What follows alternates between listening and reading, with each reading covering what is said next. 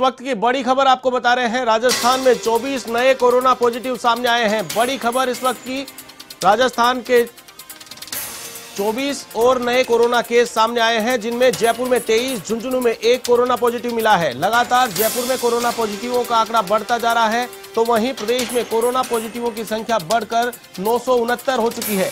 आज प्रदेश में कुल बहत्तर रोगी कोरोना पॉजिटिव पाए जा चुके हैं। इनमें से इकहत्तर कोरोना पॉजिटिव सिर्फ़ जयपुर से हैं। बड़ी खबर इस वक्त की, राजस्थान में कोरोना के 24 नए मामले सामने आए हैं। लगातार राजधानी जयपुर में कोरोना पॉजिटिव बढ़ते जा रहे हैं।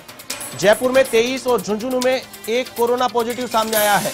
प्रदेश में कोरोना पॉजिटिवों की संख्या बढ़कर नौ सौ उनहत्तर हो चुकी है। बड़ी खबर इस वक्त की आपको बता रहे हैं। प्रदेश में आज के दिन बेहतर पॉजिटिव सामने आ चुके हैं। इनमें से जयपुर के इकहत्तर पॉजिटिव हैं। सबसे बड़ी बात, राजधानी में लगातार कोरोना पॉजिटिवों की संख्या में इजाफा देखने को मिल रहा है। पूरे प्रदेश में जितने पॉजिटिव हैं, लगभग आधे कोरोना पॉजिटिव राजधानी जयपुर में निकलकर सामने आए हैं।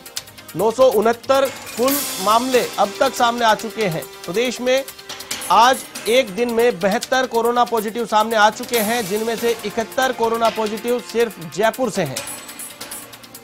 इस खबर पर अधिक जानकारी के लिए हमारे संवाददाता लोकेश ओला फ़ोन लाइन पर जुड़ चुके हैं। जी लोकेश, लगातार राजधानी जयपुर के लिए चिंता की बात, राजधानी जयपुर में आज एक ही दिन में इकहत्तर कोरोना पॉजिटिव आ चुके हैं।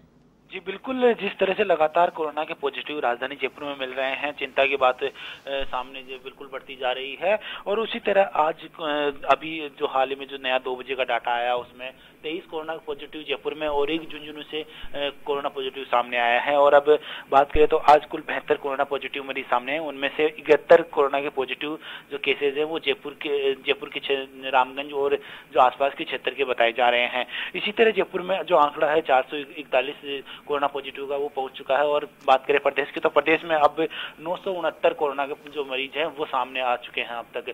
इसलिए लगातार जिस तरह से स्क्रीनिंग व्यवस्था या डोर टू डोर स्क्रीनिंग प्रक्रिया बढ़ाई गई है और उसी में कोरोना के पॉजिटिव मरीज़ लगातार सामने आ रहे हैं। इसके अलावा एकांतवास में भी बहुत सारे लोगों को अलग अलग होटलों में ठहराया गया है उनके भी सैंपल्स लिए गए होंगे उनमें भी क्या पॉजिटिव निकले हैं क्या? बिल्कुल बताना चाहूँगी जिस जहाँ जहाँ से कोरोना जो पॉजिटिव मरीजों को क्वारंटाइन में भेजा गया था संदिग्ध मरीजों को वहाँ से भी कोरोना की जो केसेज हैं वो सामने आ रहे हैं। जिस तरह से बात करें तो जयपुर कंचनदीप होटल में भी करीब ग्यारह से बारह जो कोरोना पॉजिटिव है वो वहाँ से सामने आ रहे हैं। इसी तरह पाम होटल में भी कोरोना पॉजिटिव की जो सूचना है वो सामने आ रही है। और इसी तरह जो अलग अलग क्षेत्रों में जहाँ पर या होटलों में या फिर जहाँ जहाँ क्वारंटाइन किया गया है वहाँ पे डेली रूटीन के आधार पर सैंपल कलेक्शन किया जाता है और उसी में कोरोना पॉजिटिव मरीज़ अंतिम सवाल सवाल आपसे है कि जिन लोगों को कोरोना पॉजिटिव पाया गया है एकांतवास से निकालकर हॉस्पिटल ले जाया जा रहा है या फिर उन्हीं होटलों में उनका इलाज चालू किया गया है? जी देखिए बिल्कुल बताना चाहूँगी जिस तरह से जैसे ही जो क्वारंटाइन किया गया जो संदिग्ध मरीजों की अगर रिपोर्ट पॉजिटिव आती है तो उनको वहाँ से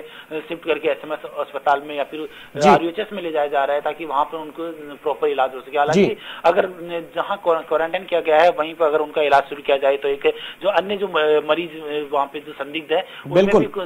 कोरोना संक्रमण फैलने की जो आशंका है चलिए तमाम जानकारी के लिए बहुत बहुत शुक्रिया। तो ये थे हमारे संवाददाता लोकेश ओला जिन्होंने लेटेस्ट अपडेट दी कि लगातार राजस्थान में कोरोना का ग्राफ बढ़ता जा रहा है। राजस्थान में कोरोना के मरीजों की संख्या लगातार बढ़ती जा रही है। साथ ही राजधानी जयपुर में बड़ी संख्या में कोरोना पॉजिटिव सामने निकल कर आ रहे हैं।